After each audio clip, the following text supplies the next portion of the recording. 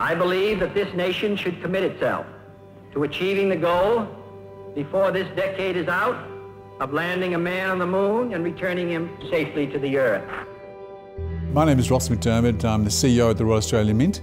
It's my pleasure to welcome you all here to the launch of this particular series celebrating the 50th anniversary of the moon landing. A great coin series and recognising a, uh, an extraordinary occasion. We were receiving a television picture at that time and that was one that was distributed to the world, uh, the first step onto the moon. So that was in many ways the highlight of my career.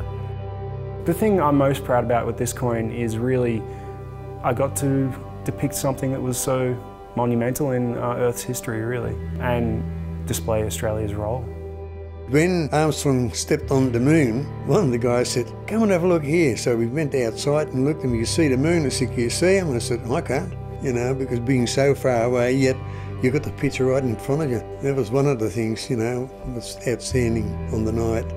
600 million people, one sixth of mankind at the time, was able to watch that, that moment in history and they're all mesmerised by those images. It's a significant part of our scientific and engineering heritage and so it really is something that all Australians should be very proud of.